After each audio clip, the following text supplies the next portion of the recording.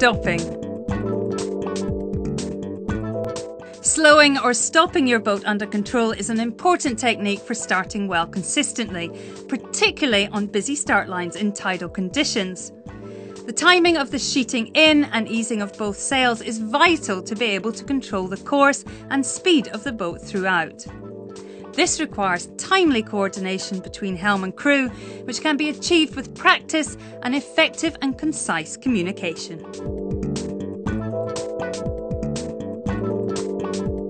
While sailing on or around a close hauled course, ease the main sheet, allowing the sail to flap, which will slow the boat down. Firstly, ease the jib sheet slightly, allowing it to flap and therefore allowing the boat to slow down.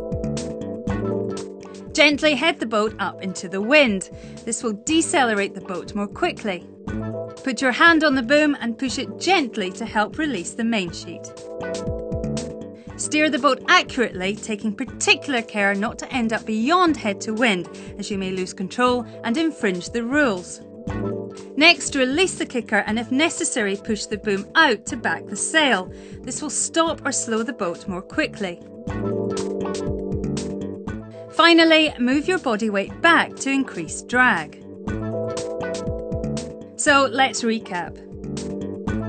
Ease the sails, head up, push boom, Ease kicker, push boom, crew weight back. And once more. Sheet out, steer, stop,